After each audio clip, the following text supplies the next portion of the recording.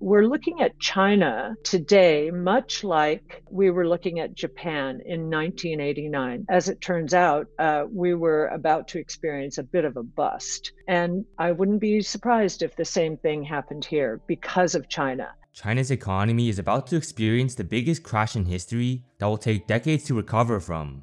China's impending crash will be similar to Japan's devastating 80% market crash in the 1990s, even three decades after the Japanese market crash, Japan's stock market has still not recovered from its highs. Japan's market crash culminated from specific events that caused the country's eventual fate. Just like Japan, several signals are showing that China's economy already crashed, but you just don't know it yet. This video will go in depth on why Cathie Wood believe China has filled up a major bubble and is about to undergo the largest crash in history.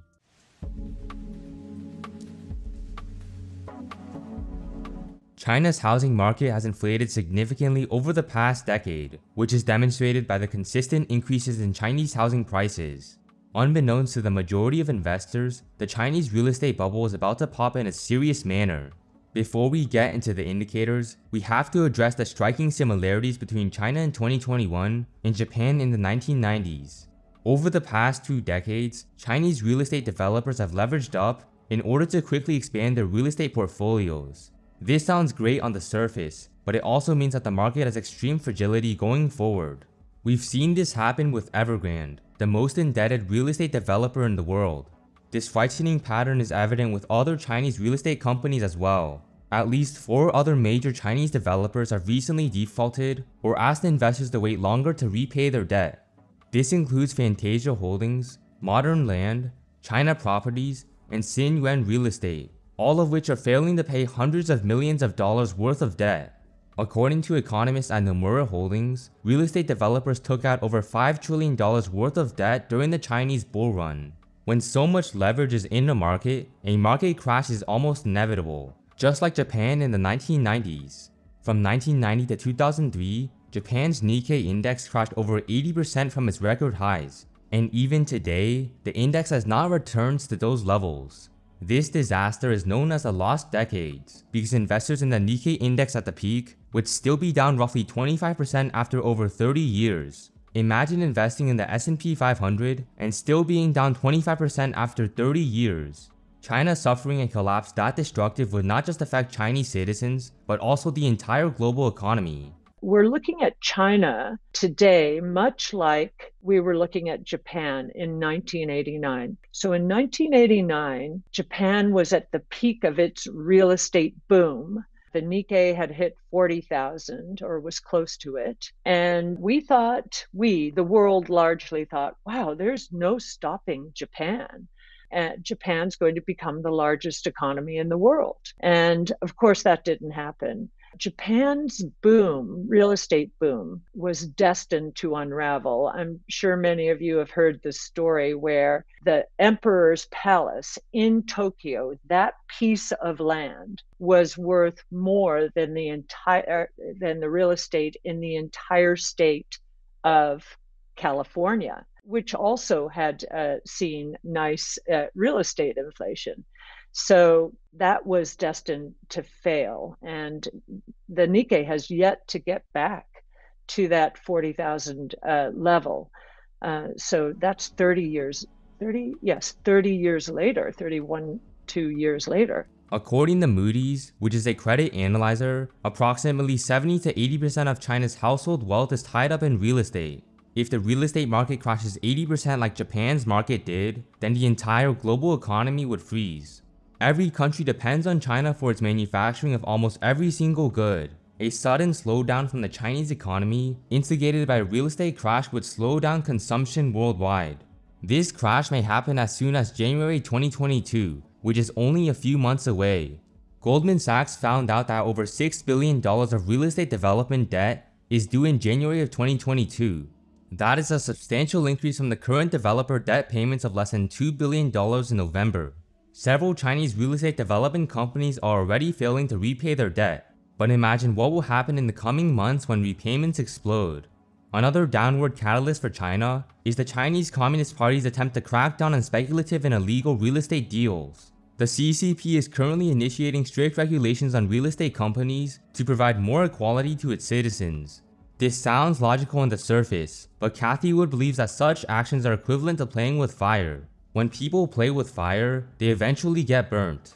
China's real estate has been very, very important in terms of propelling its economy forward. It was part of the infrastructure build out, they needed it, but it also became the most important uh, part of consumer savings. By some estimates, 75% of all consumer savings in China Eh, is in real estate. Now, China's cracking down on real estate and home prices are falling. And there's a bit of social unrest about it. But there, China's trying to tackle the have and have not problem, the social unrest certain people have these magnificent homes or are in magnificent buildings, and others can hardly afford a tent. This has become unacceptable and untenable in China, according to its leaders.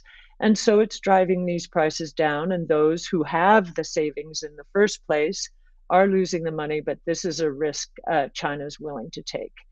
Um, I think China is playing with fire uh, on this particular topic, especially because they are also targeting the financial regulators who oversaw financial institutions who were lending to the real estate sector and they the, the national government is also investigating certain financial firms so you know, this is the lifeblood of their economy. I've talked about in previous videos how the commodity market is extremely dependent on China. China's demand for commodities represents 15% of the entire global GDP, and countless commodities almost solely depend on China alone. Among these commodities are iron and copper, which are currently crashing at incredibly fast rates right now. The iron ore price since May, June has dropped more than 50%, and it tried to rally in the last month or so, and that failed. It has relapsed. And so we'll see if it breaks down to new lows. But that that is very telling.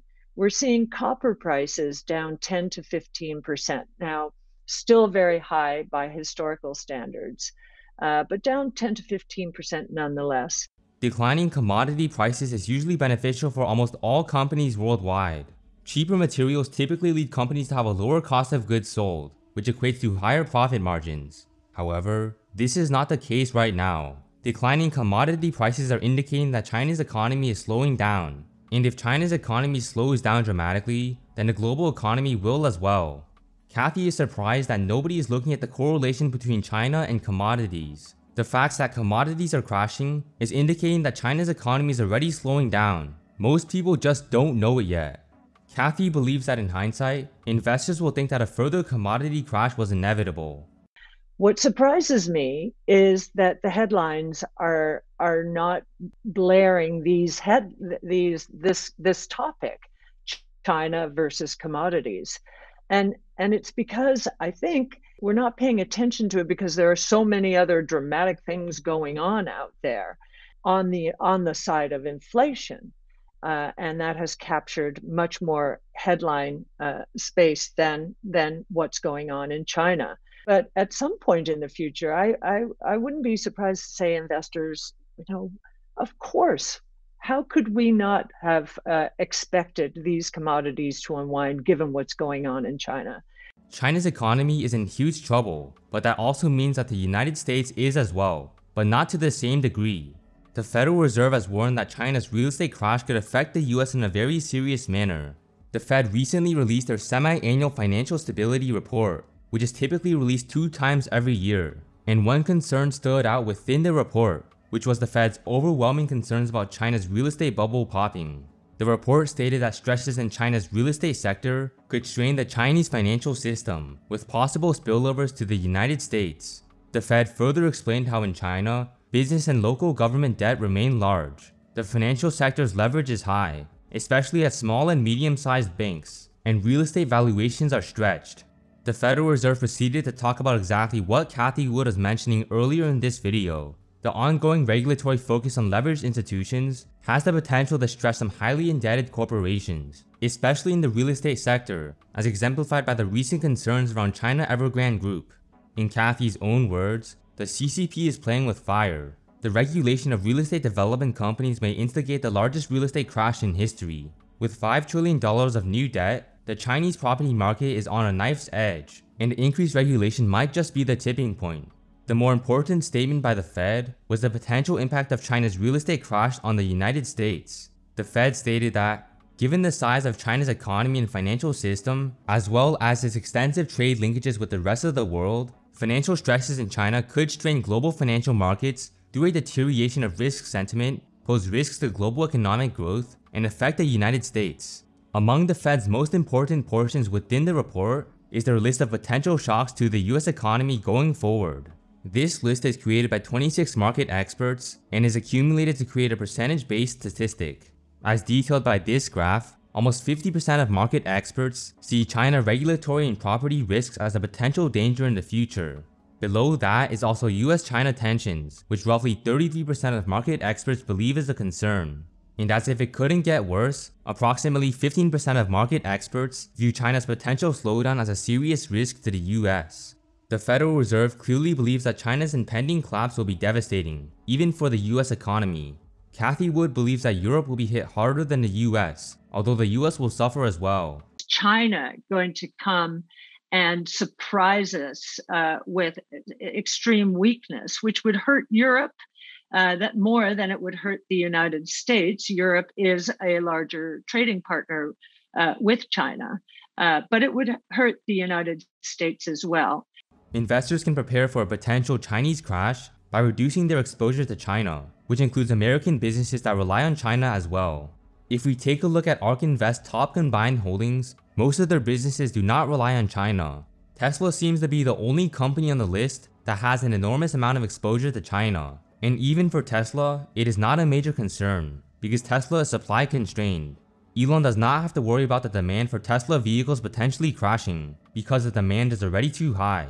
So there you have it. Cathie Wood's prediction that the Chinese economy is about to slow down dramatically. If you enjoyed this video, please hit the like button and subscribe, and I'll see you in the next one.